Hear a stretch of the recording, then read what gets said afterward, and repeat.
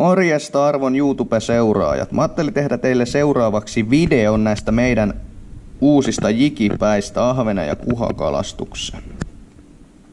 Voisi vähän kertoa, että miten tämä ero normaalista jikipäästä, mitä nyt paljon on markkinoilla.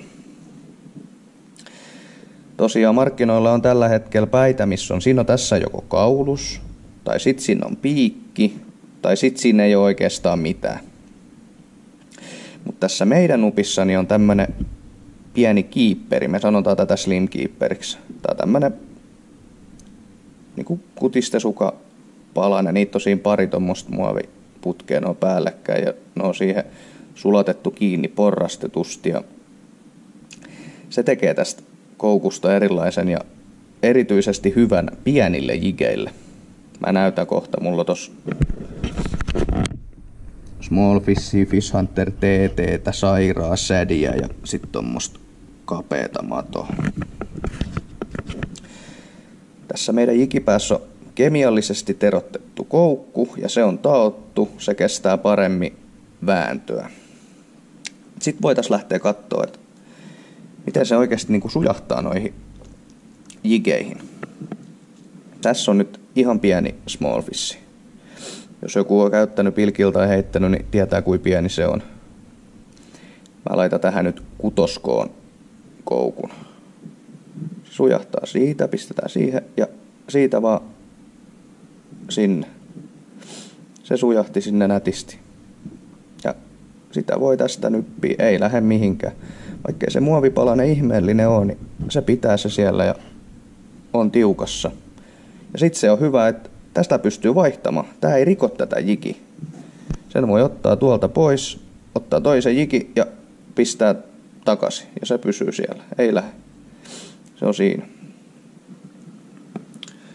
Siinä oli kutoskoon koukku. Sitten mulla tässä on nelos, neloskoon koukku. Pistetään se tämmöiseen Fish Hunter TT. Moni ahvenenkalastaja varsinkin tietää, että tämä on tosi kapea ja sirorunkoinen jigi tässäkään niin ei ole mitään ongelmaa. Koukku vaan siitä ja pujotetaan sinne ja työnnetään paikalle. Se meni sinne nätisti ja ei se sieltä, se ei sieltä irto. Tästä katkee pyrstö ennempää, kun se lähtee tuolta juuresta pois. Mutta silti sen pystyy vaihtamaan, jos haluaa. Ilman, että se kumi menee rikki. Siinä oli nelosko, neloskoon koukku. Sitten meitä löytyy täältä todella pieni. Tämä on kaikista pienin, mikä näissä nyt edes on. Tämä on viisenttinen, viisenttinen saira. Tämä on niin todella kapea runkona. Ei paljon tästä kouku, koukuvarresta paksumpi. Laitetaan siihen kanssa tämä kutoskoa koukku. Sekin menee tosta nätisti pujottaa ja katsoo tosta, tosta ylös. Vaikka näin pieni jiki, niin sinne se vaan menee nätisti sujahtaa. Eikä mitään ongelmaa. Ja pysyykö tauti, ei mihinkään lähde. Taas lähtee niin kuin pyrstö katkee ennenpäin ennen kuin se lähtee tuo pois. Ja vaikka on näin pieni ja kapea runkone jiki, niin sieltä kun sen vaan ottaa pois ja tolleen, niin voi pistää uuden, jos tykkää ja vaihtaa. Ei mene rikki. Se on niinku tämän, tämän koukun parhaimpia puolia. Sitten täältä löytyy ihan perus 4,5 senttinen sädi. Siihen laitetaan tämmönen kakkoskoon koukku. Siitä sekin vaan pujotetaan ja siitä ja sinne se sujahtaa.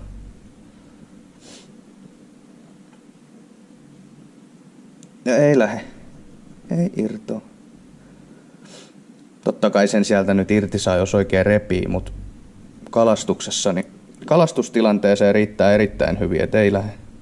Se ei siellä pois lähde. Sitten on ykköskoon koukku. Tämä on 8 gramman. Ykköskoon koukku. Se menee tähän 5,5 senttiseen sädiin aika näppärästi. Siitä vaan. Siihen. Se on siinä vaikka tämäkin alkaa vähän isompi jiki ole, niin kyllä se siellä pysyy, ei se lähde. Ei se lähde siitä pois.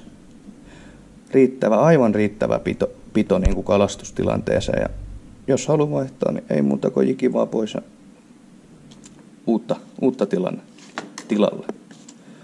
Ja sitten tosiaan tässä on vielä tämmönen Orkan pieni wormsi, twisting wormsi. Tää on kans tosi, tosi kapea ja sirorunkoinen jiki. Niin tää ykköskokoukku on tähän ihan hyvä. Se on siinä ja oi ja sinne se meni nätisti. Sujahti vaan ja ei mitään ongelmaa. Se pysyy siellä. Erittäin piukassa, että jos tätä nyt tästä repii, niin kyllä menee ennemmin täältä poikki toi jiki. Voitais, se oli, se oli semmoset, ja voitais tehdä tähän loppuun vielä semmonen, että kerro kommenttikenttään, että minkä takia sä haluaisit testata näitä meidän Rootlesin jikipäitä. Mä voisin kaikkien kommenttien jättäneiden kesken niin arpoa yhden täyden setin näitä jikipäitä. Näitä löytyy 3 grammasta 17 grammaa ja kutoskoosta 4 kautta 0.